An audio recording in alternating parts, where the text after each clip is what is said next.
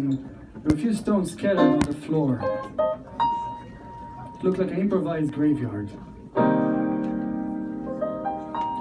I laid my head on one of the stones and started daydreaming. And then I heard a voice. I heard this voice before many times. It didn't have a face.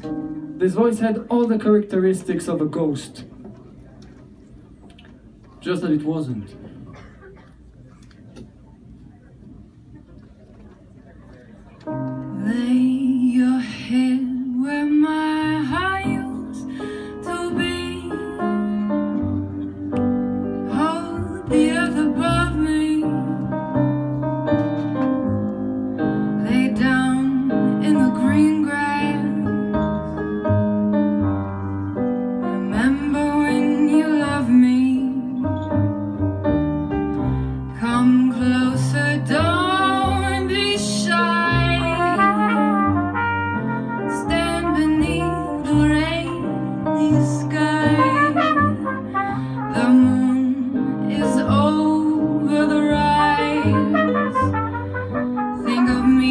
As the train goes by.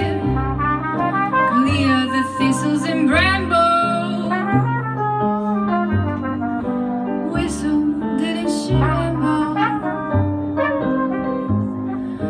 Now there's a bubble of me, and it's floating